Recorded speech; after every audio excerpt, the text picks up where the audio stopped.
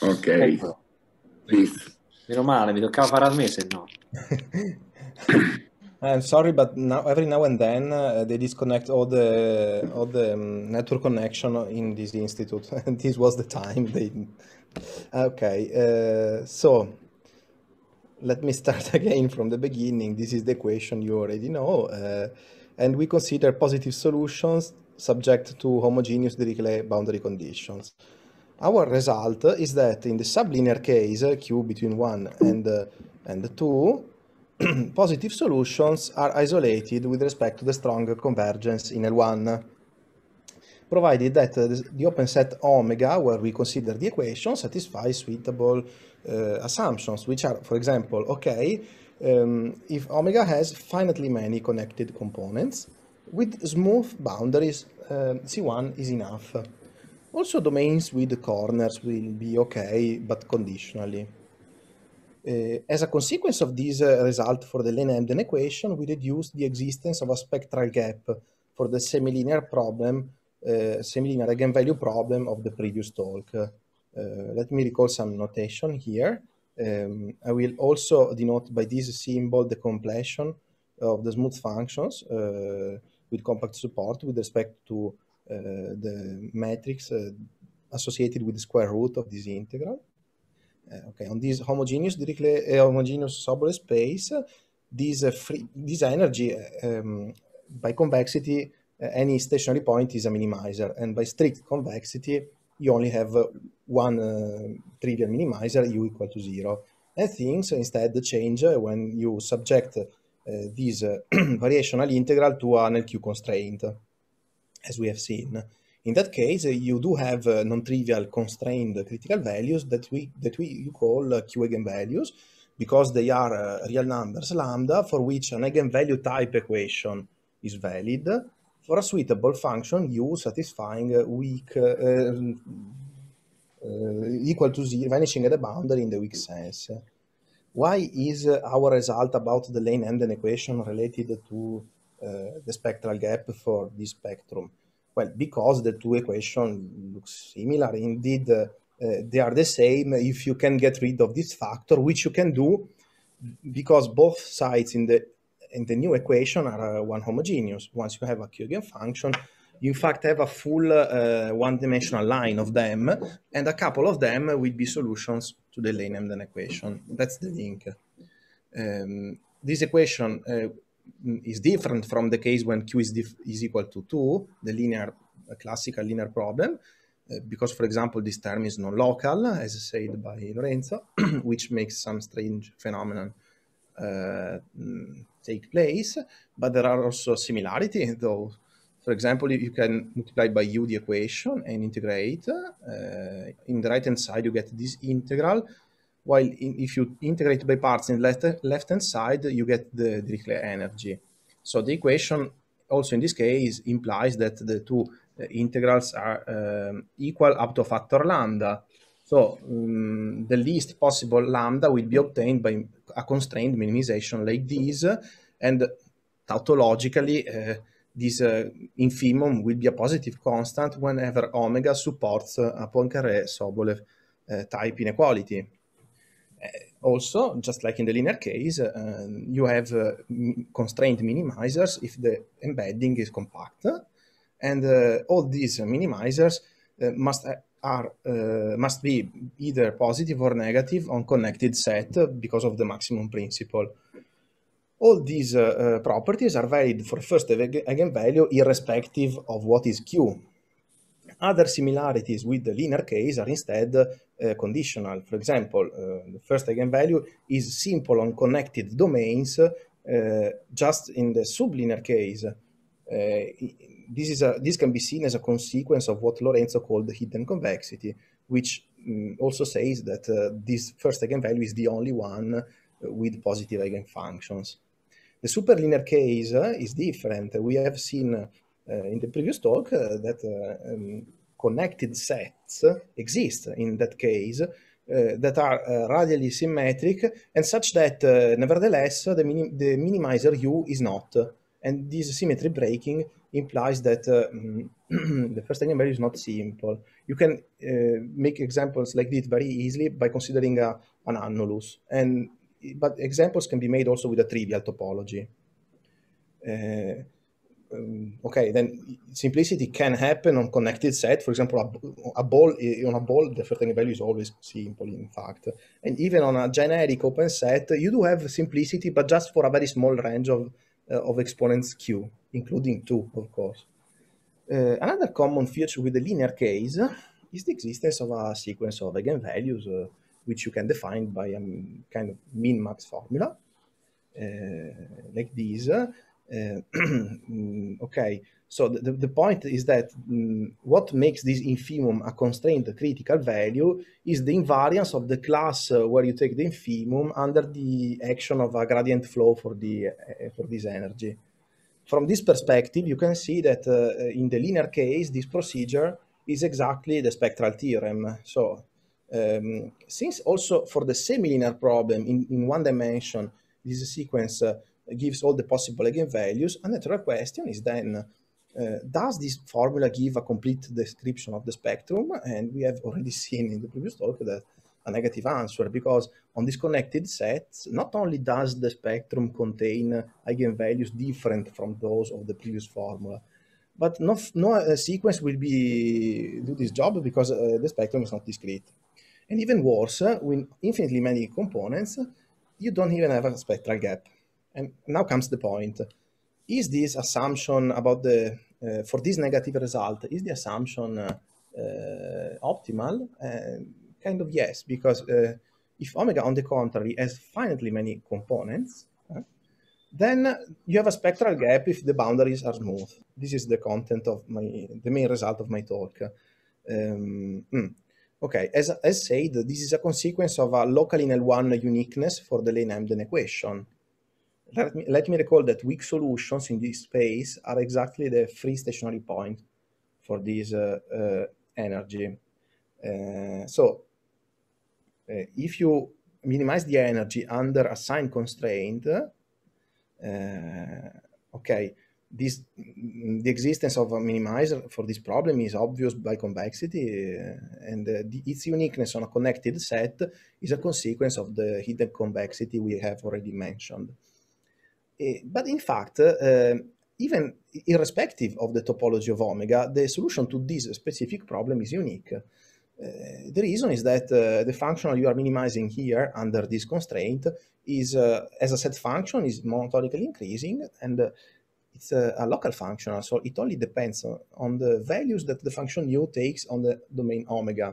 So minimizing the functional amounts to minimizing it on each component. So you, for every omega fixed and given q, you can indeed speak of the positive least energy solution of the Lane-Emden equation of, on omega. And we, you can give it a name like this. We will also call it the Lane-Emden density of omega. Our result is that this uh, function, special function, is bounded away in L1 from any other solution of the Lane-Emden equation let me sketch a proof under an abstract assumption for this uh, local in L1 uniqueness.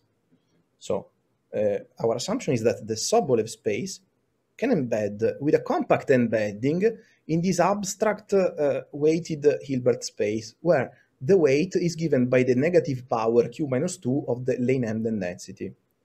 If that happens, I claim, then uh, whenever you take a critical point uh, of the free energy, uh, it should be bounded away from the Lane-Emden density.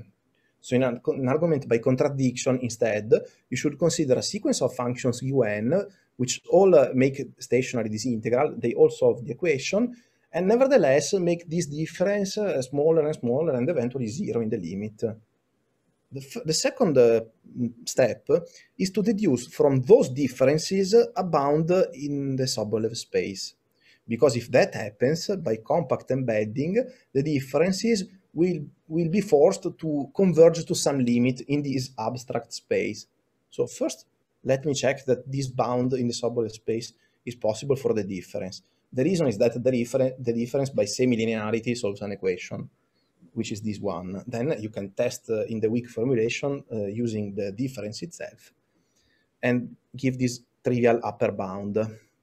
the left factor in this integral for this guy uh, is in, turn uh, can be bounded from above by a universal constant thanks to Moser estimates. So smallness in, a, in L1 for the difference implies a bound in the Sobolev space.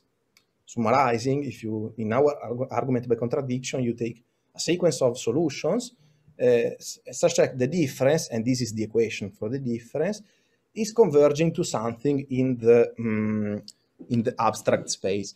Now, let's write the right-hand side in a different fashion, dividing by the difference and multiplying by the difference. This Qn is just the name I give to the ratio uh, when it makes sense and zero otherwise.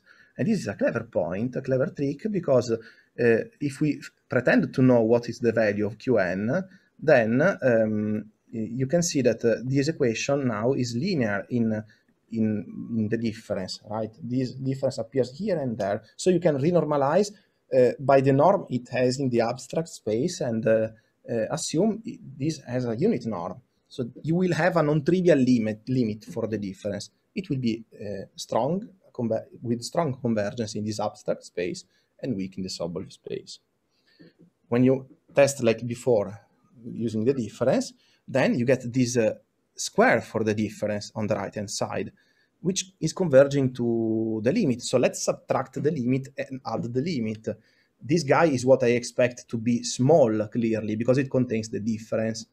So the first uh, point is uh, a control for this violet integral, uh, in which the, the factor qn appears.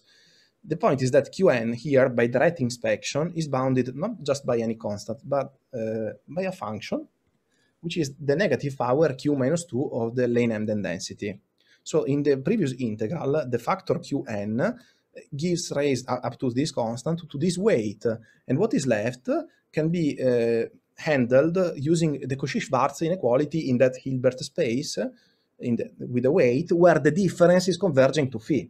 So this is at the end smaller than an infinitesimal sequence as desired. And what matters here is to bound from above this blue integral instead. And now matters more what is the precise upper bound for the ratio. Uh, so this ratio contains a numerator. Let's write it in a more precise way using less inequalities as possible. So I want an, an, an identity and an identity for this is just provided by the fundamental theorem in the integral calculus. I have to take a derivative. This is possible at all points where uh, this number is different from zero, okay? um, and it makes a, a factor q minus 1 appear in front of the integral. Inside this integral with respect to the one-dimensional variable t, I have the difference between two numbers, which is going to zero because I have a local uniform um, convergence for this difference thanks to elliptic estimates. So uh, my desired upper bound is given exactly by this numeric factor, smaller than 1, and again q minus, uh, power q minus 2 of the Lane-Emden density. So like before, except that in front of the blue integral, which is the weighted norm of the limit, I have this small factor here, quanti quantified. Also, uh, this sequence is converging to the, its limit also weakly in the Sobolev space. So by lower semi-continuity, uh, I can uh, deduce this inequality. Where I, again, I have this factor. This is in contradiction with the so-called Hardy Lane-Emden inequality, which is mm, much less than a theorem. Okay, it's a calculation you can do testing this equation with a clever choice for the test function and integrate by parts and uh, employing a so-called Picone's identity. Okay, so whenever you have a compact embedding, our theorem is, is uh, valid. When do, I have uh, the compact embedding is the next question. Uh, possibility is to uh, a sufficient condition on the domain is that it's a Lipschitz set for which the index, Lipschitz index is between 1 and 2. What is this Lipschitz index? It's a number which is 1 if omega is very flat, for example, it's C1, and uh, gets uh, larger and larger uh, when corners get narrower. For example, if in, in some two-dimensional slide you happen to find corners which are less than 90 degrees, then the the index will go will exceed the threshold alpha equal to 2. Limit case is a cube, for example.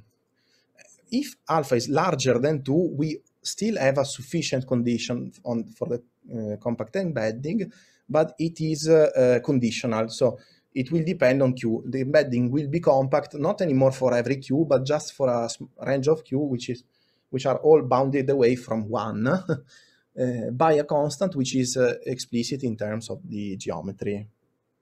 Uh, so let me say why this uh, uh, geometry on, implies the compact embedding in, uh, in brief.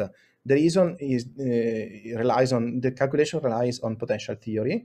For the classical Poisson's equation, if angles are not too narrow, uh, the green function for the classical Poisson's equation has uh, explicit uh, lower bounds that can be found, for example, in a paper by Masia and some co-authors of Masia that I don't remember now, in terms of the power alpha of the distance to the boundary. So by the representation formulas for the Lane-Emden equation, it follows that uh, the Lane-Emden density admits as a lower barrier the distance to the power uh, to the to the boundary raised to this uh, uh, geometric power. Okay. Of course, when I raise the blue inequality to a negative power, uh, the inequality switches, and so uh, this blue integral will give an upper bound for the weighted norm of the function u. Mm that is something I want to uh, uh, bound if I want to discuss uh, the, the embedding in the weighted space. So let's give upper bounds to the guy. And uh, first step is to get rid of this bad exponent and make it make a factor an exponent 2 appear. Why do we do so? Because the result is the left-hand side in Hardy's inequality. And uh, the inequality is valid because the, the exponent I get here uh, under our assumptions by, Hardy, by Hölder inequality is, is a positive number gamma, which is also less than 1. So also this other exponent, 1 minus gamma, is positive. For what I said before, I deduce uh, this inequality, and that's the end of the story, because if u is now replaced by a sequence that is converging to zero weakly in the Sobolev space, this integral inside uh, by Banach-Steinhaus theorem is bounded uniformly along the sequence. By uh, the standard compact embedding into the standard L2 space, some subsequence will make this factor infinitesimal. so I have an infinitesimal sequence multiplied by a bounded one uh, as a bound as an upper bound for a quantity which is non-negative, so which is then squeezed to zero by the sandwich theorem. Uh, I don't know how much time do I have. I guess I'm run out of time. Two minutes. How, how much? Sorry? Two minutes. Two minutes. Okay. Uh, so this um, this slides this slide tells you that uh, uh the embedding is compact if this geometry is valid. Okay. We have, we, um, as Lorenzo has said, we don't have necessary conditions for our theorem. Mm, I mean, we, we do, cannot assure our assumptions are sharp in a way, but we can uh, say that we have necessary conditions for the compactness of the embedding, though. Um, if you consider a very special domain, like a, a, cone, in this picture, please don't think a cone where the bottom is flat. Uh, you should think that the bottom of the cone is a spherical cap. I could not make the picture in time. R and the capital R uh, are fixed numbers, mm, okay? And uh, the other parameters, uh, the other parameter which is in, in, play, in, in coming to play is the ratio and, and the angle here at the top.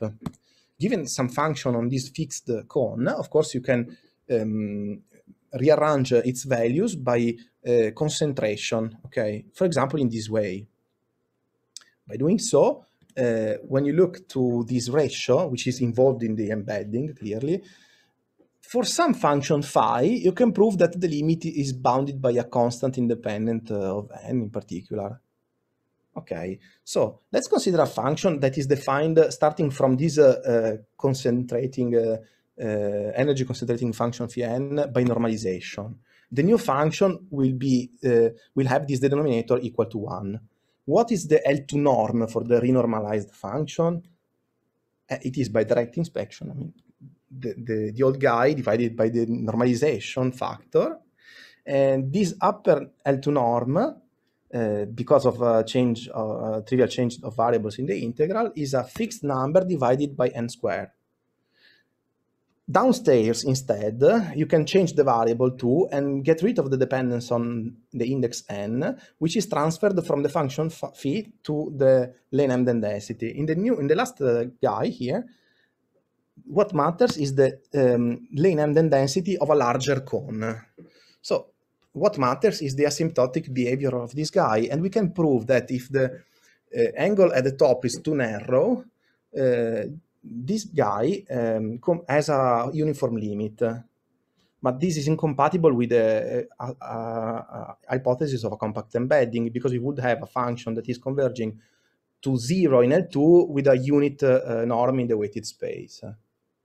So maybe that's the end of my talk because uh, I was late. Thanks to Professor Franzina uh, for this very interesting talk. Uh, please uh, uh tell me who wants to make comments or questions. Are there comments or questions?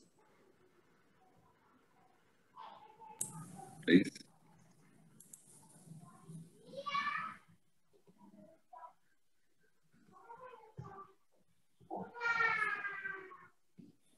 We have no comments. So thank you again to Professor Franzina.